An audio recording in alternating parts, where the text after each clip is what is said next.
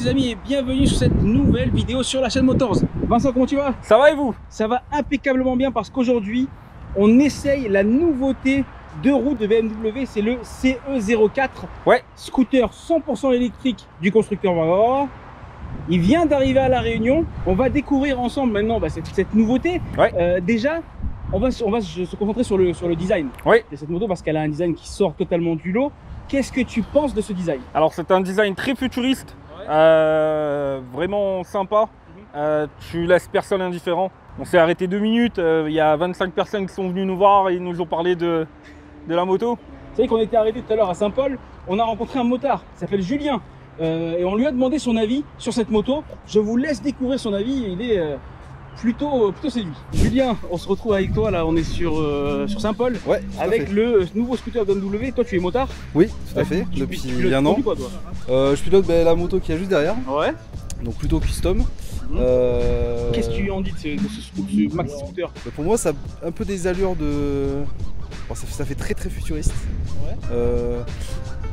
Ça me fait penser à un jet ski, tu vois, euh, par rapport au, au, niveau de l'assise derrière. Ouais, j'aime bien, franchement, le modèle en, en lui-même.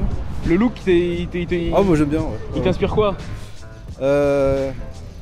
J'ai pas l'impression d'être en 2022, tu vois. ouais, c'est plutôt ça. Mais sinon, ouais, il a une belle gueule, j'aime bien. Euh, rien à voir avec, alors je sais pas si vous connaissez les, les premiers, les BMW C1.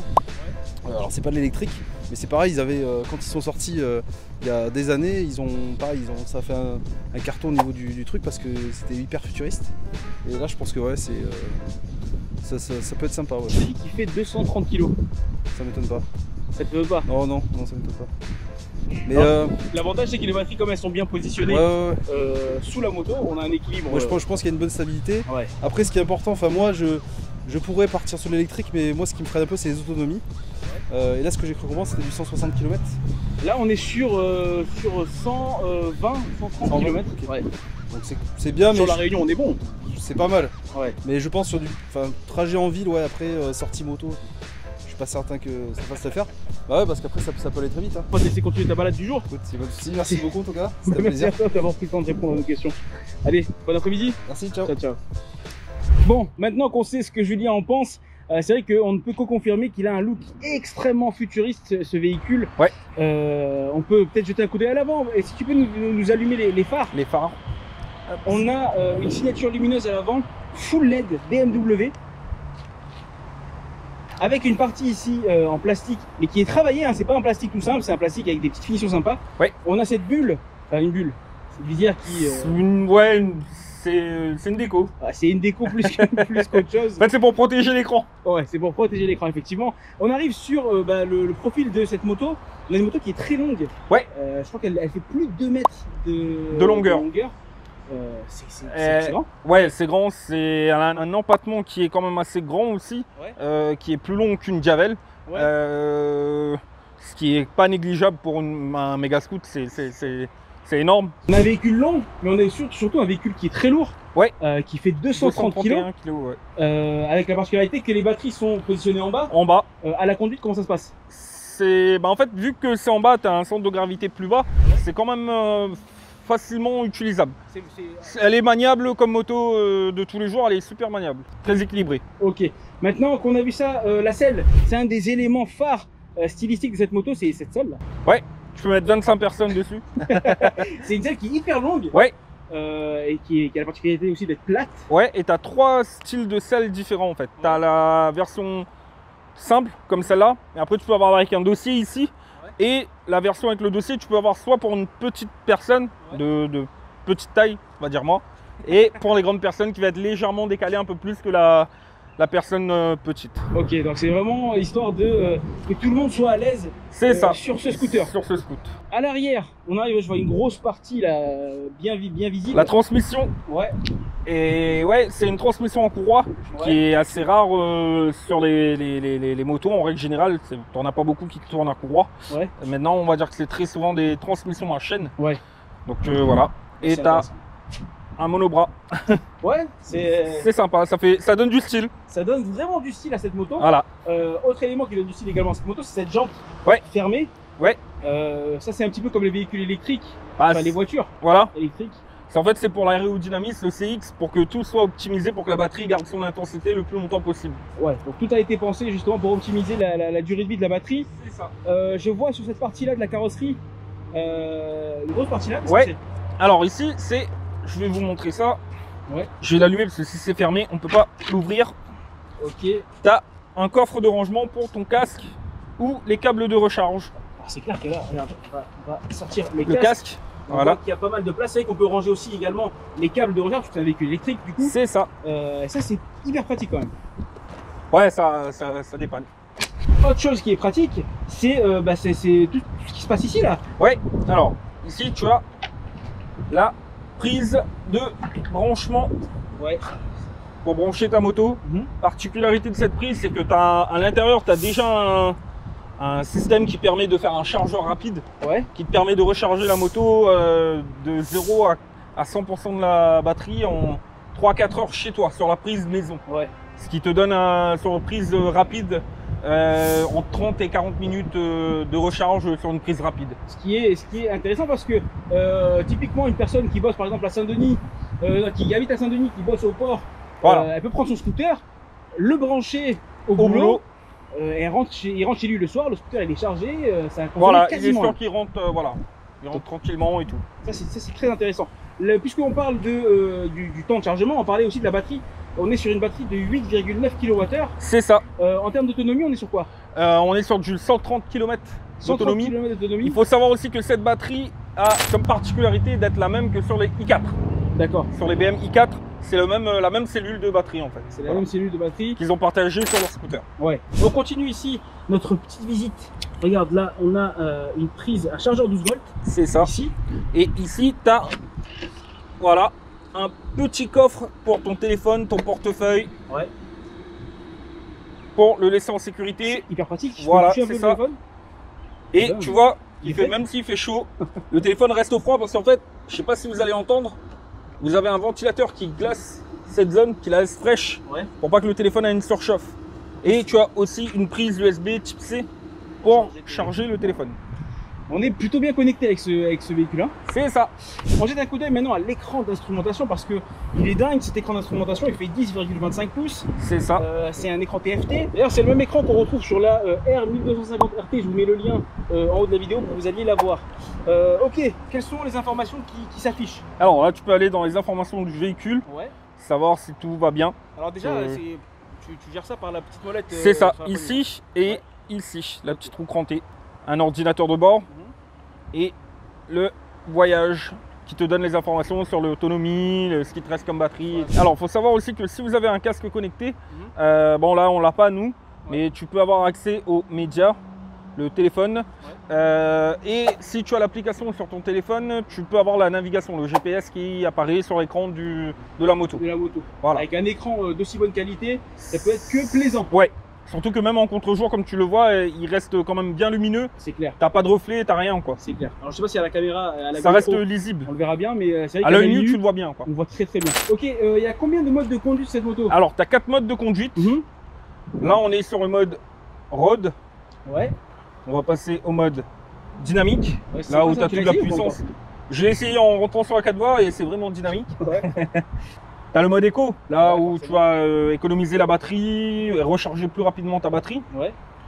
Et le mode pluie qui Mhm. te permet de rester, euh, enfin, qui te permet de rouler en toute sécurité sous la pluie pour pas que la moto euh, parte Là, en, en vrille. Ok. Bon, maintenant qu'on a vu euh, tous ces points sur cette moto, on va parler euh, de la puissance. On est sur une moto qui fait euh, 31 chevaux. C'est ça, Il y a également une version. euh, 125 Ouais.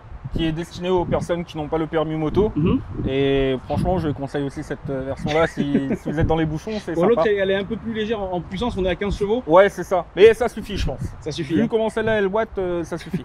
Alors justement, en termes de performance, qu'est-ce que qu'est-ce qu'on peut en dire? Euh, en performance, elle, elle est superbe. Ça marche bien, ça impressionne même quand t'as jamais essayé de moto électrique. Mhm. Ça peut être euh, surprenant. Le 0 à 50, tu peux le faire en 2 secondes 9. Ouais. Euh, et je pense que tu peux aller taquiner des gros méga scouts pour ne pas citer les T-Max. euh, au feu rouge. Au feu rouge, la guerre, la guerre est lancée. Euh, je crois qu'on est sur une vitesse max de 120 km/h limitée. hein. Voilà, c'est ça. Elle est bridée à 120 km/h pour réserver l'autonomie de la batterie Ouais. au maximum. Euh, mais on va dire que tu, tu y vas très rapidement. On y arrive très vite. Voilà.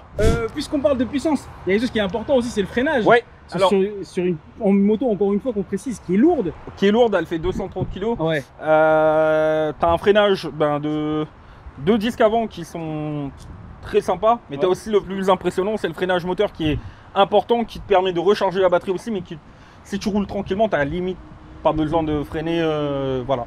Avec, avec le frein. Voilà, t'as pas besoin d'utiliser les poignées de frein pour euh, la ralentir. quoi. Ouais. Elle se ralentit toute seule et en même temps ça recharge la batterie, ça te fait gagner en autonomie. Bon, maintenant qu'on a euh, fait le tour de cette moto, qu'on a parlé technique, qu'on a parlé chiffres, je t'invite à reprendre cette moto et euh, continuer à la journée. Ouais, avec Allez. plaisir. À toutes. À toutes.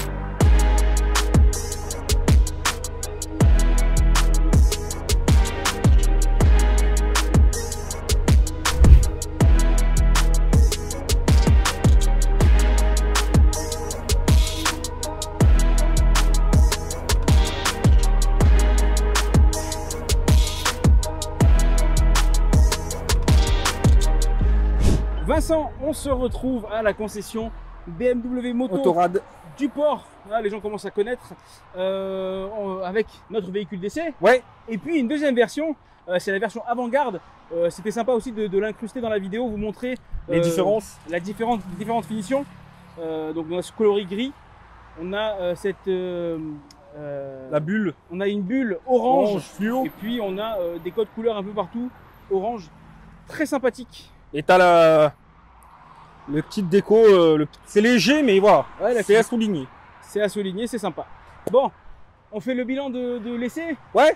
Alors, euh, après euh, ces quelques kilomètres parcourus à bord de cette CE 04, qu'est-ce que tu en dis? Euh, J'achète. non, franchement, elle est super sympa. Ouais, Euh, pour une moto de ville, euh, elle a.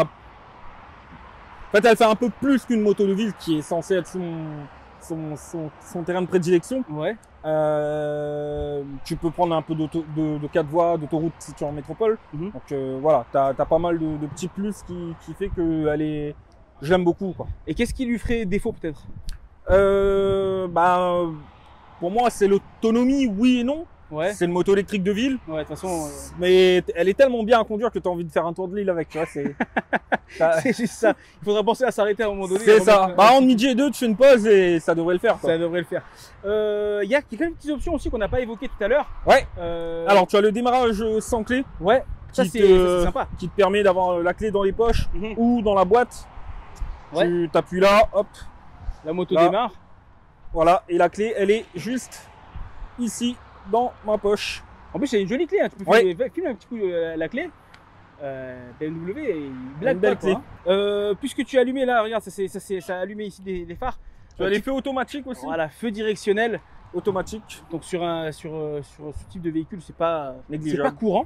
Ouais. C'est euh, hyper intéressant. Euh, autre petite option non négligeable sur un véhicule qui fait, je le rappelle, 231 kg, c'est la marche arrière. Ouais. Ah, Tu peux nous faire une petite démo? Ouais, il n'y a pas de souci. Je l'installe. Ouais. Hop, on enlève la béquille, on démarre. Voilà, ça fait énormément de bruit. Alors j'ai avancé un tout petit peu juste pour... euh, Ouais, pour pouvoir reculer. voilà. Donc là, je vais en avant. Si je peux filmer ici, là, je maintiens le bouton, je prends l'accélérateur et elle part en arrière. Et ça, c'est quand même quelque chose qui est hyper appréciable. Surtout vu le poids de la moto, c'était dans une légère euh, montée, euh, Ouais. enfin en marche arrière, ça, ça te sauve. quoi. Ça te sauve clairement. Il y a euh, quelque chose aussi qui est pas mal. Regarde là, tu es en train de mettre la béquille. Ouais. Il y a un frein qui se déclenche automatiquement. Ouais, Euh, quand la béquille est enclenchée, la moto, Voilà. tu peux plus la... Tu peux plus la bouger. Ouais. Tout simplement. Ce qui Tu permet. peux essayer de la soulever et voilà, elle est bloquée. elle est, elle est, voilà, elle est immobile, ce qui te permet par exemple lorsque tu es en pente et que tu as besoin de, de réajuster le casque ou de mettre un- des gants, etc., euh, de Tu pouvoir peux la poser voilà, tu et la poses. de pas craindre qu'elle descend. Exactement. Donc, très bon point également. Vincent, on va parler maintenant du prix de cette moto. Alors, euh, à La Réunion, le CE04 est proposé à partir de 13 900 euros. Avec euh, le bonus écologique de 1900 euros, elle tombe à 12 000 euros. Donc, le CE04 commence à partir de 12 000 euros à La Réunion. Ce qui fait que euh, 900 euros d'écart avec ce qui se fait en métropole. Ouais. Puisque là-bas, la gamme commence à partir de 12 euh, 000, voilà. 12 000 euros. Euh, avec 900 euros seulement de bonus écologique, sachant que à la Réunion, euh, sur ce véhicule-là, on a quand même 6,5% d'octroi de mer. Donc euh, c'est pas parce que c'est un véhicule électrique qui- a zéro taxe, pas du tout. Donc c'est vraiment c'est au même niveau que, que- que la métropole. Maintenant qu'on a terminé cette vidéo, vous avez bien fait de ne pas quitter parce que regarde, on ouvre le coffre et qu'est-ce qu'on dévoile? Deux sublimes cadeaux à vous faire gagner en partenariat donc avec BMW Moto. Donc on les remercie bien évidemment de nous avoir euh, offert ce- ces, cadeaux pour vous. Alors il y a deux cadeaux. Il y a une superbe casquette euh, Air officielle bien évidemment. On n'est pas là pour rigoler non plus. Euh, très sympathique donc il y aura ça à gagner. Et puis il y a un deuxième cadeau, c'est ce t-shirt. BMW avec bien sûr tous les logos du constructeur, donc très sympathique. Euh, c'est pas mal. C'est pas mal. Pour participer à ce jeu concours, euh, il faut se rendre tout de suite sur le compte Instagram de Motors, Motors-du-bas Réunion. Je vais mettre une publication en rapport avec le CE04.